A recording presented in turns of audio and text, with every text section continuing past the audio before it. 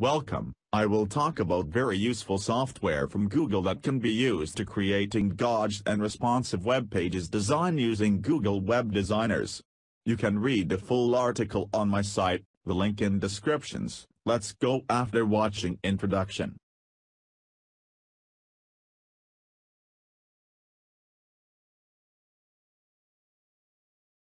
Google Web Designer will allow you to create your idea and works on any devices with responsive design and interactive HTML5 features.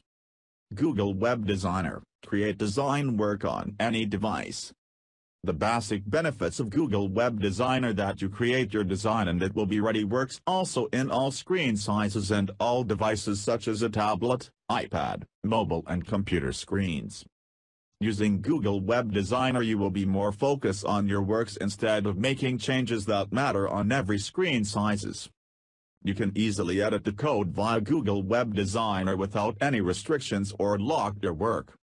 Google Web Designer features Creating HTML5 content with powerful, engaged, animated and interactive elements that reflect the life of the creative vision. Also Google Web Designer integrated with all Google products. Google Web Designer contains component already programmed by default to add more functionality and automatically contents without coding. Connecting action and events in Google Web Designer is very easy to create reaction with touch, rotate and shaking in smart devices using presets events. Create multiple pages and organize your project files and navigate it easily.